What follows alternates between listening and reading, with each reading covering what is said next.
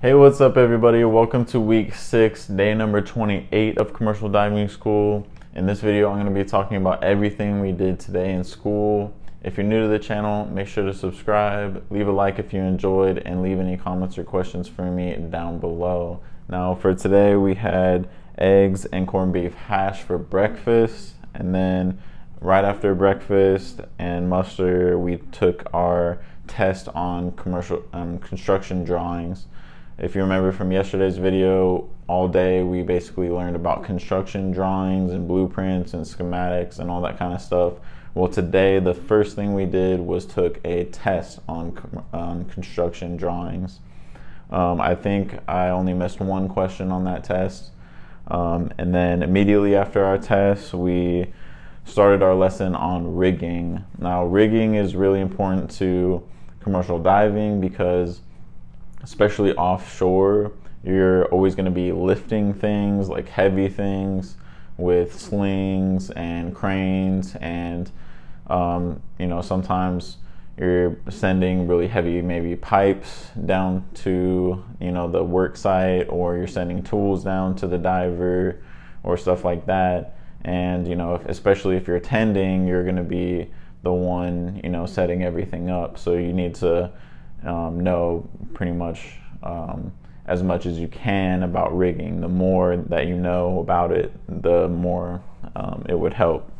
So we started our lesson on that, and it's everything, like I said, from slings to different like hooks and um, like how to inspect um, slings and um, the different types and stuff like that is basically everything that we went over. So we were in the classroom. It was more PowerPoint stuff, um, like we've been doing, and then um, we pretty much did that all the way up until lunch, and then we went to lunch. And today was a roast beef sandwich and potato salad and a um, corn on the cob, and then uh, baked beans, and then right after lunch, we got into knot tying. So um, we learned quite a few different knots.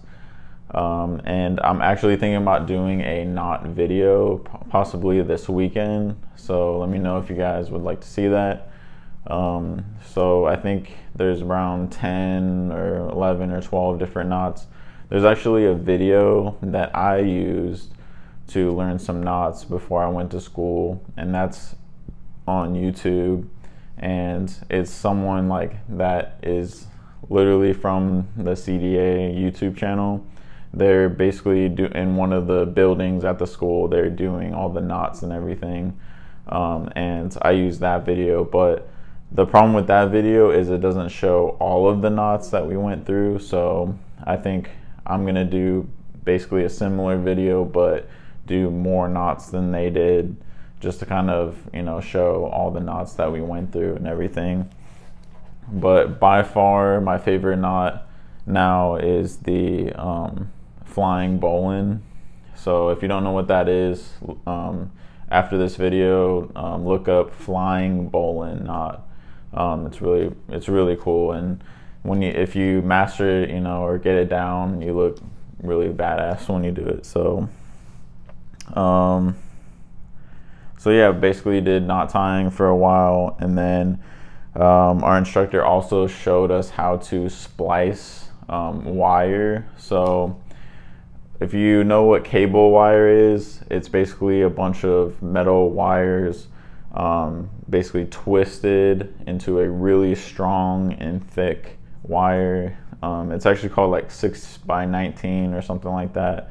Um, is kind of like the name or specification for it, but um, basically it's a bunch of wires twisted, and then you have a bunch of those wires that are twisted around uh, another core, and it basically makes a wire cable, and um, you're going to be expected to splice a basically a eye.